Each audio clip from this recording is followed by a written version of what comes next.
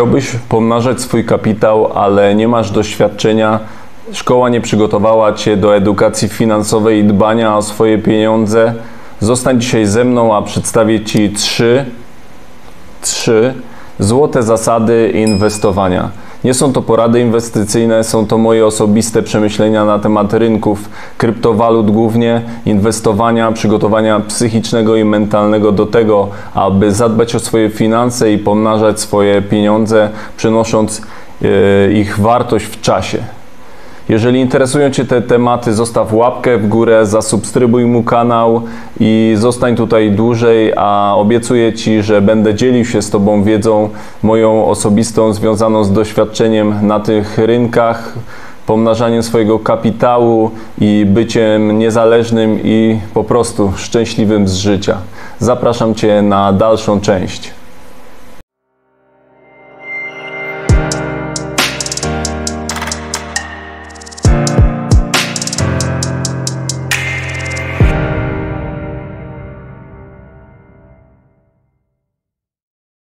Wiele osób, kiedy zdobędzie jakieś oszczędności, e, zaoszczędzi pieniądze na koncie, myśli o ich pomnażaniu. W pewien sposób włącza nam się pewna e, chciwość, która, która chce zaspokoić nasze potrzeby bieżące, ale także e, przeniesienie wartości pieniędzy w przyszłość, aby być niezależnym i po prostu no, mieć pieniądze na swoje potrzeby.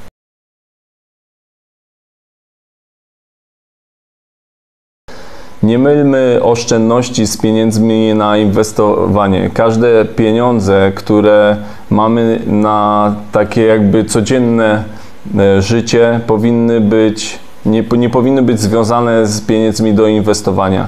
A dlaczego? Ponieważ każde inwestowanie wiąże się jakby z ryzykiem, wiąże się z emocjonalnym obciążeniem e, naszej psychiki, dlatego powinniśmy rozgraniczać poduszkę finansową, która e, jest na takie bieżące życie. Ta poduszka powinna nas zabezpieczać na co najmniej 3 miesiące bezpiecznego, spokojnego życia. Odłóżmy, e, podzielmy jakby swoje życie na 3 miesiące wyznaczmy ten pułap, który, do którego powinniśmy dążyć i to jest jakby pierwszy, pierwszy poziom naszego bezpieczeństwa finansowego. Jeżeli już mamy tą poduszkę bezpieczeństwa, kolejne pieniądze możemy przeznaczać na inwestowanie. Nie powinny one nakładać się na siebie, nie powinny mieć jedne z drugim nic wspólnego, ponieważ bezpieczne inwestowanie to, to inwestowanie pieniędzmi, które po części możemy stracić, na e, którego ryzyko jesteśmy jakby przygotowani na pewną utratę kapitału, e, ale także e, utratę w czasie, ponieważ no, inwestowanie wiąże się z, inwest- z jakby przeniesieniem pieniędzmi na, na kilka lat.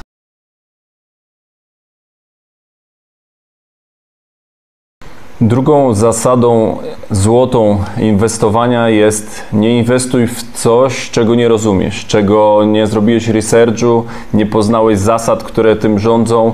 E, jest to no, o tyle ważne, że inwestowanie w rzeczy obce wiąże się z dużo większym ryzykiem niż e, inwestowanie w rzeczy, które rozumiemy. Na rynkach e, Możemy inwestować w nieruchomości, możemy inwestować w kruszce, możemy inwestować właśnie w to, co ja robię, w kryptowaluty. Jest setki różnych możliwości na, na rynku, w, które, które możemy, w których możemy się podjąć i w które możemy inwestować. To od nas zależy, w czym czujemy się mocni i w co chcemy mm, zainwestować nie tylko swoje pieniądze, ale swój czas i swoją uwagę, bo są dwa rodzaje. Mówi się, że są dwa rodzaje inwestowania. Albo inwestujesz czas, aby poznać rynek i wtedy inwestujesz, albo inwestujesz e, w błędy. Nie ma, nie ma złotego środka. Najważniejsza jest edukacja, i ta edukacja ułatwia nam podejmowanie decyzji, zmniejsza poziom stresu, poziom naszej frustracji wynikającej z utraty pieniędzy, bo no, to są nasze pieniądze. Poświęciliśmy swój czas, swój wysiłek, aby je najpierw skumulować, więc nie traćmy go ich jakby w głupi sposób. Miejmy ograniczone zaufanie do osób, które mówią o pieniądzach, które mówią o inwestowaniu, ponieważ jedno niestety mówią, a drugie robią. Zróbmy własny research, sprawdźmy w co chcemy inwestować i wtedy te decyzje muszą być w 100% nasze. Nasze ryzyko, nasze pieniądze, nasze mm, posunięcia jakby tutaj na tych rynkach są zawsze tylko i wyłącznie nasze. Nie możemy mieć pretensji do nikogo więcej, ponieważ wielokrotnie te osoby są finansowane przez inne firmy, przez różne korporacje i mają e, stricte ustalony jakby kierunek tej rozmowy, swojej dysputy i niestety no nie możemy mieć e, pretensji do tego, co oni mówią. Możemy ich wysłuchać, możemy jakby zebrać wiedzę z ich doświadczenia, ale na końcu, na koniec dnia te decyzje muszą być tylko i wyłącznie nasze i tak to powinno wyglądać.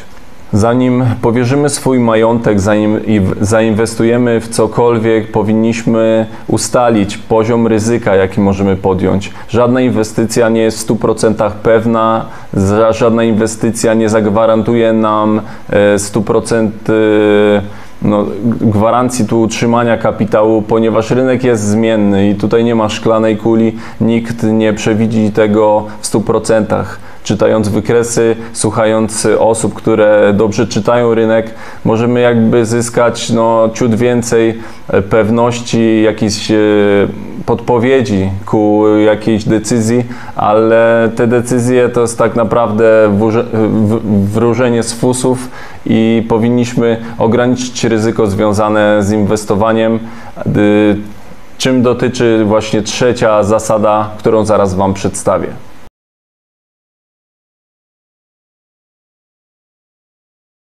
Trzecia złota zasada inwestowania to dywersyfikacja ryzyka. Dla mnie jest to jedna z najważniejszych w ogóle zasad inwestowania, bo ochrona kapitału, e, inwestowanie w sposób przemyślany i jakby rozproszony jest e, super ważne, ponieważ coś może się nie udać. Jeżeli mamy to rozgraniczone w kilku, tak jak ja na przykład na rynku kryptowalut mam e, kilka ważnych y, kryptowalut, y, ponieważ no, nie inwestuję tylko w jedną. Mógłbym y, zainwestować w Bitcoina, ponieważ jest to największa kryptowaluta, najstarsza kryptowaluta i najbardziej jakby stabilna na tym rynku, ale jeżeli zrobiłbym to, mam wrażenie, że ograniczyłbym możliwość zysku na tym rynku, dlatego mam swój portfel podzielony na bardziej ryzykowne kryptowaluty, na bardziej stabilne i właśnie z całego tego koszyka liczę na uśredniony zysk, dlatego e, zasada dywersyfikacji e, ryzyka powinna być e, stosowana małymi krokami. Uśrednianie cen zakupu, wychodzenie z rynku, kiedy rynek jest nagrzany, mm, realizację zysków, uśrednianie ceny zakupu. Odsyłam Was do mojego filmu, w którym właśnie omawiam tą zasadę uśredniania ceny zakupu, kupowanie kryptowalut y, raz w miesiącu za określoną kwotę. Dzięki temu y, trafiamy w okresy, kiedy te kryptowaluty są tanie. Kupujemy też w momentach, kiedy są drogie, ale bilansując te zakupy, jesteśmy w ciągu 4-8 lat y, na zyskach w okolicach 400-500%, a jeżeli e, adopcja kryptowalut pójdzie grubo do przodu, te zyski na pewno będą dużo, dużo wyższe. Link e, do tego odcinka zostawię Wam pod filmem. Zapraszam Was serdecznie do obejrzenia i zaznajomienia się z techniką uśredniania ceny. Ważnym tematem tutaj tego podpunktu, tej zasady jest unikanie wchodzenia całym kapitałem w określoną walutę, w określone aktywo. Nie wiemy, w którym e, momencie rynku jesteśmy. Nie wiemy, czy kupując właśnie w tym momencie kupujemy na dołku, czy przypadkiem kupujemy na górce i czy ta cena tego aktywa znacznie i nagle się nie zmieni. Dlatego powinniśmy uśredniać tą cenę i wchodzić e, etapami. Nie wchodzić w jednym momencie kupując coś za całą kwotę, którą zgromadziliśmy, bo szczerze Wam mówię, że będziecie mocno zawiedzeni e, okaże się, że e, w momencie, kiedy kupiliście, wszystko spada i powiecie, że to jest jakieś zmowa przeciwko Wam, ale tak naprawdę e, no, dzieje się to wszystkim i, i sytuacje na rynkach, tak zwane czarne łabędzie, zdarzają się bez względu na naszą świadomość, bez względu na nasze decyzje. Tak jak wojna na Ukrainie, tak samo jak pandemia zdarzyła się, można powiedzieć, nagle. Może część ludzi była przygotowana, może rządy wiedziały o tym wcześniej,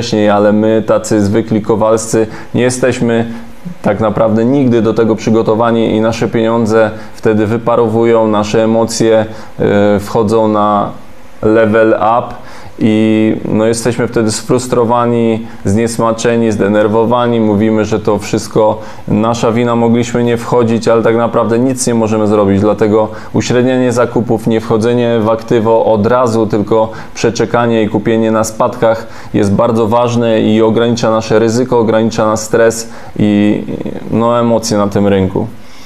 Realizowanie zysków to jest bardzo ważny aspekt tego wszystkiego. Nie liczmy na to, że nasze aktywa będą w górę szły wiecznie. Jeżeli jesteśmy już na wysokim plusie, zrealizujmy zyski, zabezpieczmy zyski, czekajmy na spadki. Jeżeli to aktywo jest dla nas pewne i chcemy dalej w nie inwestować, możemy je odkupić, ale po dużo niższych wycenach realizowanie zysków nigdy nie jest złe, bez względu na to, czy zrealizujesz zyski po 20%, po 100%, po 200%. Zawsze to jest ważne i warto realizować zyski. Dziękuję Wam serdecznie za uwagę. Jeżeli zostaliście ze mną do końca programu, jest mi bardzo miło. Mam nadzieję, że te trzy zasady, czyli e, niemylenie oszczędności z inwestowaniem, nieinwestowanie w coś, czego nie rozumiemy oraz dywersyfikacja ryzyka to są trzy złote zasady, które, których powinniśmy się e, strzec, które powinniśmy używać. E, jeżeli e, jesteś już bardzo wyrafinowanym jakby inwestorem, to, to na pewno wiesz, że trzeba mieć zasady, trzeba mieć strategię, trzeba się e, trzymać ich, ponieważ no, na rynku inwestowanie swoich pieniędzy, czy inwestowanie nawet czyichś pieniędzy, pieniędzy to, to jest bardzo stresująca sprawa. Nawet doświadczeni inwestorzy popełniają błędy, ponieważ, tak jak wcześniej mówiłem, rynek jest zmienny, rynek jest nieprzewidywalny. Nie ma magików na tym rynku, którzy powiedzą ci, że właśnie dzisiaj się to przytrafi, za miesiąc będzie coś jeszcze innego, bo e, oni jedno mówią, drugie robią. Wszystko, co dzisiaj powiedziałem, nie są poradami inwestycyjnymi, są moimi osobistymi przemyśleniami na temat rynku kryptowalut, więc jeżeli podobało Ci się to i chciałbyś tu zostać, to zasubskrybuj mój kanał, e, daj łapkę w górę i zapraszam Cię do kolejnych ciekawych tematów na tym kanale.